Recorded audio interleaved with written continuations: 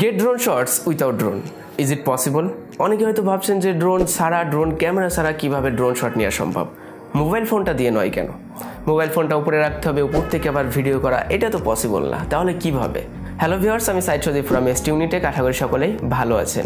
এই ভিডিওতে আমি আপনাদেরকে দেখানোর চেষ্টা করব কীভাবে ড্রোন ছাড়াই ড্রোন ক্যামেরা ছাড়াই আপনি ড্রোন শটগুলো নিতে পারবেন আপনার হাতে থাকা মোবাইল ফোনটি ব্যবহার করে।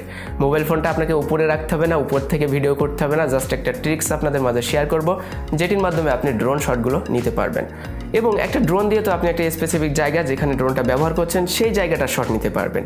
কিন্তু এই ট্রিক্সটার মাধ্যমে আপনি অলরেডি যে কোনো প্লেসে ড্রোন শট নিতে পারবেন। স্পেসিফিক জায়গাগুলো তাজমহল আইফেল টাওয়ার এগুলো শট তো নিতেই পাচ্ছেন। তো প্রসেসে যাওয়ার আগে অবশ্যই বলতে হচ্ছে, যারা এই চ্যানেলে নতুন এসেছেন, অবশ্যই চ্যানেলটি সাবস্ক্রাইব করবেন আর পাশে বেলাইকনটা অন করে দেবেন।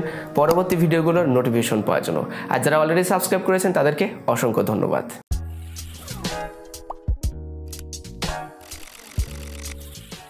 প্রথমে আপনার মোবাইলে এই যে তিনটা অ্যাপ স্ক্রিনের উপর দেখতে পাচ্ছেন, এই তিনটা অ্যাপ ইনস্টল করতে হবে।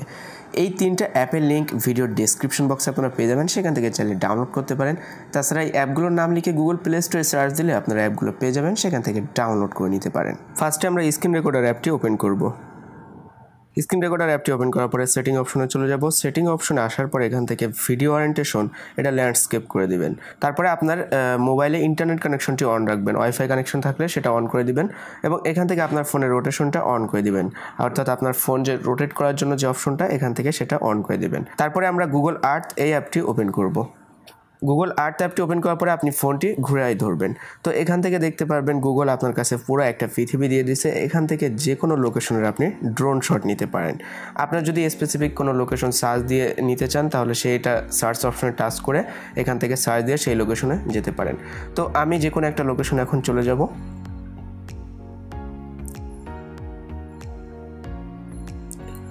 তো দেখতে পাচ্ছেন, আমি একটা লোকেশনে চলে আসলাম। তো এখান থেকে এই লোকেশনটা আমরা ড্রোন শট নিতে চাই।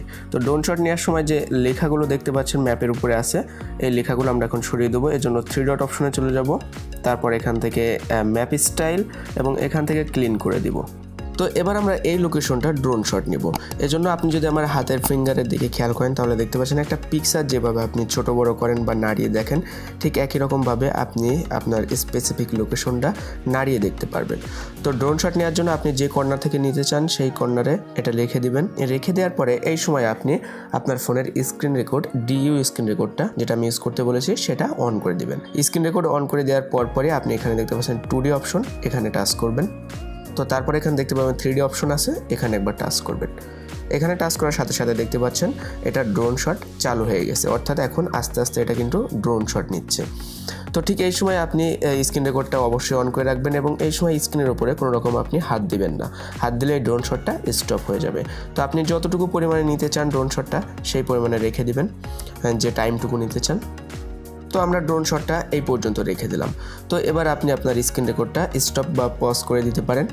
স্ক্রিন রেকর্ডটা পজ করে দেওয়ার পরে এবার আমরা অন্য আরেকটা লোকেশনে চলে যাব বা আপনি যদি অন্য কোনো লোকেশনে ড্রোন শট নিতে চান সেগুলো নিতে পারেন। এখানে পুরা সিটিগুলো দেখতে পাচ্ছেন থ্রি মোডে আছে। জাস্ট আপনি জুম করবেন। জুম করার পরে কিছুক্ষণের মধ্যে আপনার ইন্টারনেট কানেকশনটা একটু ভালো থাকলে দেখতে পারবেন। সেই বিল্ডিংগুলা বা যে জায়গাটার ড্রোন শটটা নেবেন, সেই জায়গাটা আস্তে আস্তে ক্লিন হয়ে যাচ্ছে। কাইন মাস্টার অ্যাপ্লিকেশনটি এর ভেতর চলে যাব এবং এখান থেকে ড্রোন শটগুলো এডিট করব। কাইন মাস্টার অ্যাপটি ওপেন হওয়ার পরে জাস্ট নিউ প্রজেক্ট এটা ক্রিয়েট করে নেব। Ratio sixteen is to nine এটা সিলেক্ট করে দেবো। তো এবার আমরা ফার্স্টে চলে যাব মিডিয়া অপশনে তো মিডিয়া অপশনে আসার পরে এখান থেকে আমরা ব্যাকগ্রাউন্ড সিলেক্ট করে নেব। একটা ব্ল্যাক ব্যাকগ্রাউন্ড সিলেক্ট করে নিলাম। ব্ল্যাক ব্যাকগ্রাউন্ড সিলেক্ট করার পরে এবার আমরা চলে যাব লেয়ার অপশনে তারপর চলে যাব মিডিয়া অপশনে মিডিয়া অপশনে আসার পরে আমরা এখান থেকে যে স্ক্রিন রেকর্ডটা করেছি ড্রোন শটের সেই স্ক্রিন রেকর্ডটা সিলেক্ট করে নিব। ডিইউ স্ক্রিন রেকর্ডের মাধ্যমে আপনি যদি করে থাকেন, তাহলে রেকর্ড মাস্টার বলে একটা ফোল্ডার পাবেন। তো আমরা স্ক্রিন রেকর্ডের ভিডিওটা সিলেক্ট করে নিলাম।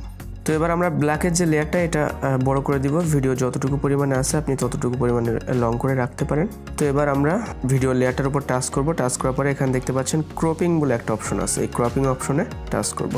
টাচ করার পরে আমরা এটা ক্রপ করে নিব। আমাদের এখান থেকে দেখতে পাচ্ছেন নিচের যে লেখাটা আছে তারপর স্ক্রিন রেকর্ডের কারণে যে এক্সট্রা লেখাগুলো আছে, এটা আমরা ক্রপ করে নিব। ক্রপ করা কমপ্লিট করে ফেলব, উপরের অংশটুকু বাদ দিব। তো আমি ঠিক এইরকম সাইজ রাখলাম, আপনারা স্ক্রিন রেকর্ডে যে এক্সট্রা জিনিসগুলো আসে, সেগুলো ক্রপ করে দিতে পারেন। ক্রপ করে দেওয়ার পরে জাস্ট টিক মার্কে টাচ করে দেবো এবং এটা আমরা জুম করে দিব। এটা আমরা ঠিক এই সাইজে জুম করে ভিডিওর ঠিক মাঝখান সাইজে রেখে দিব। তো এবার দেখতে পাচ্ছেন ভিডিওটা একটু রিয়েলিস্টিক লাগছে, ঠিক আছে? তো এবার আমরা ড্রোন শট যতটুকু পরিমাণে আছে সেইগুলো রাখব এবং বাকি অংশটুকু ভিডিও থেকে কেটে ফেলব। এখান থেকে আমরা ফার্স্টের অংশটুকু কেটে ফেললাম এবং এই শটটা কতটুকু পরিমাণে আসে সেটা আমরা দেখে নিব ফার্স্টের ড্রোন শটটা এখান থেকে স্পেল ড্যাট প্লে হেড করে দেব এবং এখান থেকে সেকেন্ড আর একটা লেয়ার আছে, তো এখান থেকে আমরা আরও একটা ড্রোন শট নিয়েছি। এটা আমরা ফার্স্টের অংশটুকু কেটে বাদ দিব। এখান থেকে কেটে বাদ দিলাম এবং এই ড্রোন শটটা কতক্ষণ পর্যন্ত আছে সেটা সিলেক্ট করে দিয়ে জাস্ট আমরা লাস্টে আবার কেটে বাদ দিলাম। তো এবার আমরা দুইটা লেয়ার একসাথে জয়েন করে ফেলব, কাছাকাছি রাখব।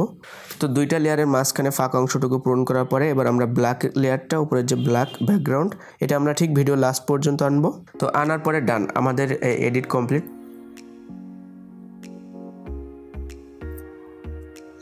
দেখতে পাচ্ছেন আমাদের ড্রোন শটটা কিন্তু একদম মনে হচ্ছে যে কোনো প্রফেশনাল ড্রোন ক্যামেরা দিয়ে শ্যুট করা হয়েছে।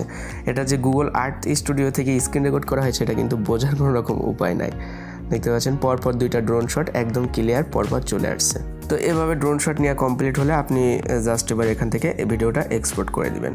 শেয়ার অপশনে টাচ করবেন শেয়ার অপশনে টাচ করার পরে আপনার ভিডিও রেজলিউশন অনুযায়ী জাস্ট এখান থেকে এক্সপোর্ট অপশনে টাচ করবেন, তাহলে ভিডিওটা এক্সপোর্ট হয়ে যাবে। এই ট্রিক্সটার জন্য আমাকে একটু মাথা কাটাতে হয়েছে। তারপরেও আমি অবশেষে হয়তো বা সফলতা অর্জন করতে পেরেছি। আশা করি আপনারা এই ট্রিক্সটার মাধ্যমে যে কোনো প্লেসে ড্রোন শট নিতে পারবেন এবং এটি আপনি যে কোনো ভিডিওতে ব্যবহার করতে পারবেন। ভিডিওটি ভালো লাগলে অবশ্যই একটি লাইক করবেন কমেন্ট করে জানাবেন ভিডিওটি কেমন লাগল। আর এই চ্যানেলে নতুন এসে থাকলে অবশ্যই চ্যানেলটি সাবস্ক্রাইব করবেন। দেখা হচ্ছে পরবর্তী কোনো ভিডিওতে সবাই ভালো থাকবেন, সুস্থ থাকবেন। আল্লাহ হাফেজ।